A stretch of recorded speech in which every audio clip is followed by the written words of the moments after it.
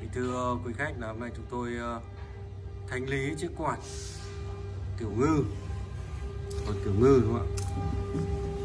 Thanh lý với giá là 800k bình thường thì chúng tôi bán là 1 triệu 8 ấy. Hôm nay ờ, còn cái cuối cùng cũng đã chuyển đi cho khách rồi, nhưng mà nó gãy mỗi một chút này thôi. Gãy mỗi một tí này thôi. Gãy mỗi một tí thôi. Thanh lý 800 hình như còn cái này với một cái nữa cũng gãy như thế.